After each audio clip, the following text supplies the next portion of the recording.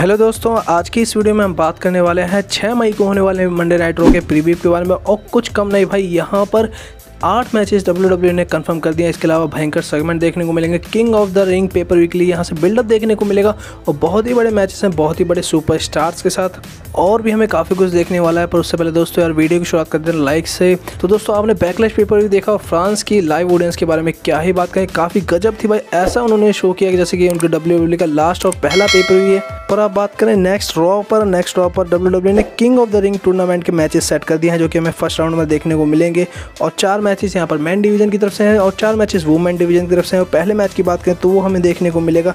Drew McIntyre versus Finn Balor के बीच में। फिन बैलर जो कि जजमेंट डे का हिस्सा है, और ड्रू मैकिटायर तो है भाई स्कॉटिश साइकोपैथ तो ये मैच हमें काफ़ी इंटरेस्टिंग देखने को मिलेगा। दोनों ही सुपरस्टार काफ़ी तगड़े हैं।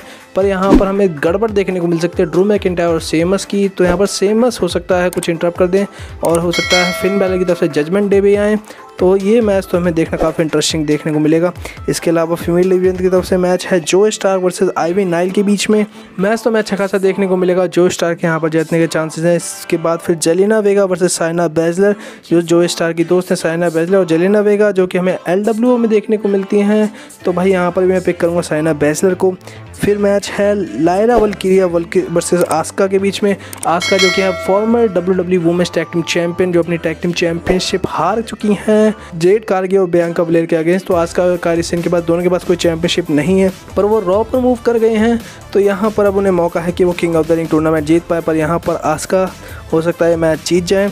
फिर है ई स्काई वर्सेस नतालिया के बीच में ये लास्ट चौथा वुमेंस डिवीज़न का मैच है। तो भाई नतालिया भी एक ऐसे सुपरस्टार हैं, काफ़ी एक्सपीरियंस भाई सुपरस्टार है और ई स्काई तो फॉर्मर स्मैकडाउन वुमेंस चैंपियन रह चुकी हैं। तो भाई ये मैच भी देखना काफ़ी गजब रहने वाला है। इसके अलावा मैन डिवीज़न की तरफ़ से एक और मैच है, वो है गुंथर वर्सेस सेमस के बीच में। और ये मैच तो भाई ज़बरदस्त है, क्योंकि गुंथर भी अलग ही अब मकसद से आया अलग ही उनके दिमाग में चल रहा है, उनके साथ होंगे लुडविक काइजर भाई गुंथर के दिमाग में क्या पक रहा है, वो ज़रूर king of the ring tournament के फाइनल मैच तक ज़रूर जाना चाहेंगे। तो सेमस को भी यहाँ पर खामियाजा भुगतना पड़ सकता है ड्रू मैकिटायर यहाँ पर कुछ किलौल कर सकते हैं, कुछ पंगा कर सकते हैं सेमस के साथ। तो हो सकता है गुंथर ये मैच जीत जाए। इसके अलावा एक और मैच है रिकोशे वर्सेज आयला द्रगुनोव के बीच में। आयला द्रगुनोव भाई वो सुपरस्टार हैं जिनके पास अभी एन चैंपियन थी, अब फॉर्मर एन चैंपियन है वो, क्योंकि हार गए हैं वो ट्रिक विलियम से। पर आयला दुर्गुना और रिकोशे भाई आयला दुर्गुना अगर यहाँ पर रॉ पर आ रहे हैं तो हमें कुछ धमाकेदार ही मैच देखने को मिलेगा और रिकोशे भी एक ऐसे सुपरस्टार है जिन्हें डब्ल्यू डब्ल्यू बहुत पुश देती है। तो ये मैच में तो पिक करना आसान नहीं कि कौन जीतने वाला है। फिर कोफी किक्सटन वर्सेस रे मिस्टीर और लास्ट ये चौथा मैच है। रॉ पर यहाँ पर भी पिक करना कोई आसान नहीं है। कोफी किंगस्टन के साथ होंगे रिंग साइड पर ज़रूर। जेवियर वुड यहाँ पर हो सकता है, आके दिक्कत कर दें।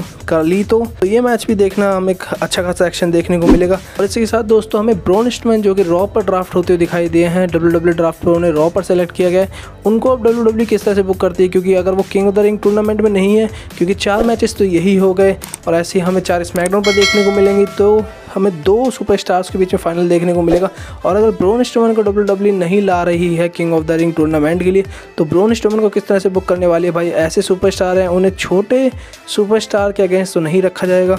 तो ऐसे में किस सुपरस्टार के अगेंस्ट जाती है ब्रोन स्टोमन की स्टोरी ये देखना काफ़ी इंटरेस्टिंग होगा, क्या वो ब्राउन बेकर के अगेंस्ट हो सकते हैं सैट रॉलिंस के अगेंस्ट फेस सुपरस्टार रहेंगे हील सुपरस्टार ये देखना हमें नेक्स्ट प्रॉपर्टी पता चलेगा। इसके अलावा हमें एक और सेगमेंट देखने को मिलेगा रॉ वुमेंस चैंपियनशिप की तरफ़ से। और यहाँ पर फिर से एक बार बैक लेन का सेलिब्रेशन देखने को मिलेगा रॉ वुमेंस चैंपियनशिप के साथ। और यहाँ पर फिर से आएँगे लिव मॉर्गन और क्राउन जेल में अगर वुमेंस डिवीज़न के मैच होने हैं तो ये मैच कन्फर्म है। इसमें रॉ वुमेंस चैंपियनशिप के लिए। Becky Lynch versus Liv Morgan के बीच में। क्योंकि पिछले हफ़्ते भाई लिम मॉर्गन ने नया जैक्स को हराया तो उन्हें यहाँ पर अपॉर्चुनिटी ज़रूर मिलनी चाहिए चैंपियनशिप के लिए। फिर हमें फाइनल सेगमेंट देखने को मिलेगा यहाँ पर वर्ल्ड हेवे चैंपियन डेमिन प्रीस्ट का। और हमने बैकलैश पेपर में देखा कि भाई डायमंड पीस ने जे जेउसो पर अटैक होने से बचाया। जे जेउसो जब फिनबेला और डेडी मैकडोन अटैक कर रहे थे तो जे जेउसो को बचाया गया था। और डायमंड पीस एक ऐसे सुपरस्टार है जो कि भाई चैंपियनशिप मिलने से पहले हर सुपरस्टार से अपने आप पंगे लेते थे। जजमेंट डे की पूरी टीम उसमें डायमंड पीस सबसे ज़्यादा आगे रहते थे।